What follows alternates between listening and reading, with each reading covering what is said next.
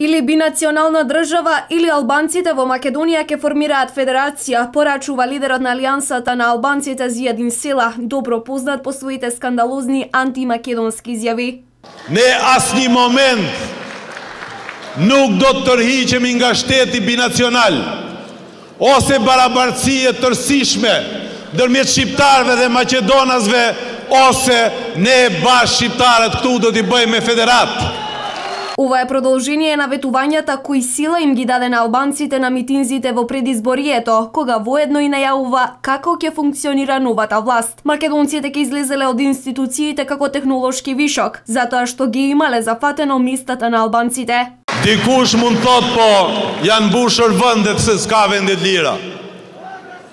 Na kanë zënë vendet e shqiptarve në për institucionet e shtetit Dhe tani tjeni sigur se do dalin Macedona si të pris teknologjike, sepse nuk mundet në kostivar 90% e institucioneve të ministrive rajonale tjenë me Macedonës. Суштината на албанската платформа е кантонизација на Македонија Изјадин Сила е задоволен што Груевски тоа добро го има сватено. Ова е една од поновите изјави на председателот на Движењето за реформи на ДПА и коалиционен партнер на Зоран Заев Зијадин Сила.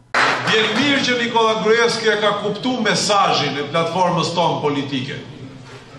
Këto ditë thot, nuk do të lejojmë kantonizim të Macedonisë dhe nuk do të lejojmë dy gjusi. Kjo është esenca e platformës të Aleancës për Shqiptarët. Во насока на менување на државното уредување и федерализација на Македонија се гледа излагањето на лидерот на СДСМ Зоран Заев пред албанската диаспора во Берн, Швајцарија, кога ветуваше по голема децентрализација на државата, создавање на региони, секое село по примерот на Швајцарија да одлучува само за себе, односно едно село, еден кантон. Првиот чекор што мора да го направиме, да направиме уште поголема децентрализација. Да ги создадеме регионите, треба да бидеме растаретени. Дали има некоја делба по некој процент или математики? Не. Гледам овде, едно село е кантон.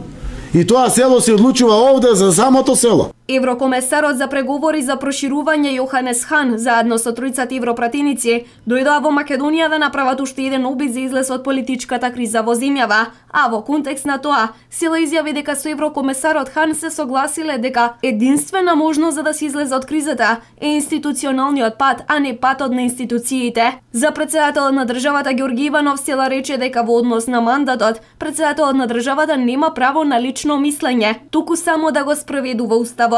Прашан дали еврокомесарот најави можност за санкции, Сила рече дека Алијансата на албанците не е дел од оние што ја продлабочуваат кризата и затоа немало потреба Хан да зборува со него за санкции.